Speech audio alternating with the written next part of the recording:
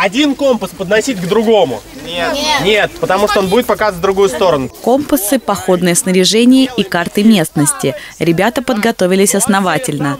В День защиты детей сообщество родителей, общественная палата совместно с парком Малевича организовали и провели настоящий туристический поход. Весь маршрут растягивается по лесу, то есть мы сначала ходим, и у нас есть промежуточные этапы, на которых мы рассказываем разные вещи.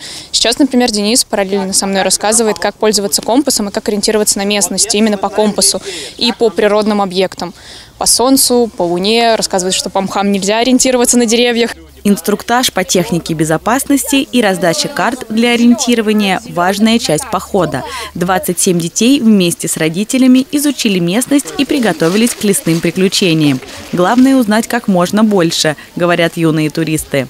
Мы увидим каких-то интересных зверей, увидим интересные деревья, походим по каким-то новым тропинкам, узнаем, как пользоваться компасом, как вязать всякие узлы, как ставить палатку.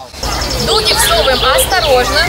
Часть группы уже разбила палатку, ну а у другой – препятствие – обрыв, который возможно перейти только по канату. Никас в походе впервые. Признается, новые лесные испытания только прибавляют азарта. Ветер в горах тоже бывает. Я вообще никогда не ходил в походы, я вот полностью дебютант.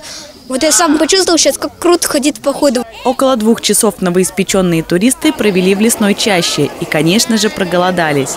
Костры в лесу разжигать нельзя, поэтому кашу варили на газовых горелках. Конечно, дети у нас сегодня главные э, члены этого праздника. Это на самом деле все для них устраивается.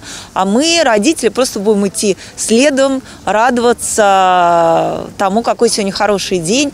Новый парк Малевича оказался отличной площадкой для проведения похода. Праздник на природе прошел на отлично. Сертификаты о прохождении туристического маршрута получили все участники походной группы. Екатерина Крамер, Станислав Трифонов, телекомпания «Одинцова».